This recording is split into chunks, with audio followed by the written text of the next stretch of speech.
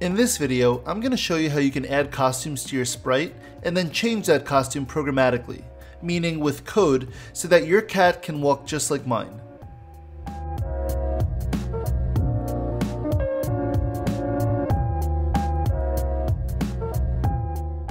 On this YouTube channel, I make coding tutorial videos just like this one, so if you're new here, please consider subscribing to help the channel out. Every sprite that you add to your project can have associated costumes added to it. Built-in sprites often come with costumes already included. Take the cat for example. It already has two costumes already built in. We can look at the costumes by selecting the Costumes tab and seeing which costumes are available to us. We can add more costumes by clicking on the icon at the bottom left of the screen, which again looks like a cat face with a plus sign.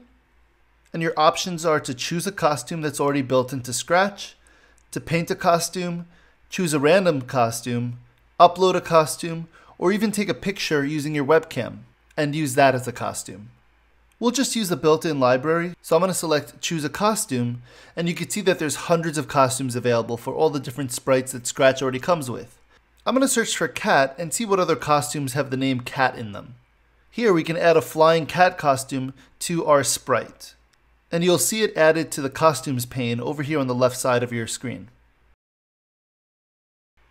If we go back to the code tab and select the looks palette, there are two main command blocks for manipulating costumes that you're going to use. The first is switch costume to, this block, and the next one is the next costume. So you might use one or the other depending on the situation and what you want to accomplish in your code. If you ever want to know the exact costume that one of your sprites is currently wearing, you can scroll down here in the looks palette and use this costume number or costume name reporter block. And if you click it, it'll tell you what the number is of the costume or the name. So right now, since I'm in the cat, it tells me the name or the, the number. Or you can just check off this little box over here and it'll show up on your stage so you can see exactly which costume he's wearing. This can be really useful when you're creating more advanced projects. In our current project, our sprite isn't going to change costumes unless we go into the scripting area and click on these blocks. But that's not really user friendly because your users aren't supposed to see the code behind the scenes. So what I want to do is I want our cat to, let's say, change costumes when we click on it. So I'm going to go over to the events palette and bring over when this sprite is clicked.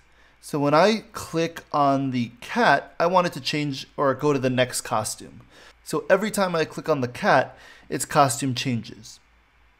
If I want my cat to appear to be walking, I can go over to the control palette and bring over a repeat block. And inside of this repeat block, I want it to change costumes because an animation is really just a change of costumes done really quickly. So if I click on this now, you'll see that it's happening way too quickly. And it actually doesn't even look like he's walking.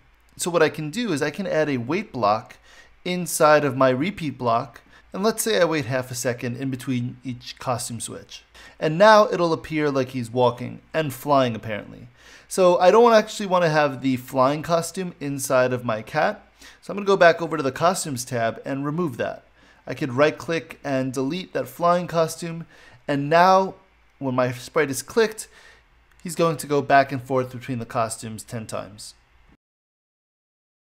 Lastly, I want to show you how you can upload a costume to your own sprites. In the previous video, I created the Obama sprite, which I uploaded myself. But if you go over to the Costumes tab, you'll see that Obama has no other costumes. So to upload a new costume, I have to go and select Upload Costume and then I have to choose the file that I want to upload. So now I have two costumes on Obama. Now in my code for the Obama sprite, I can add a script so that when he's clicked, he switches over to the next costume. So now when I click on Obama, he changes costumes.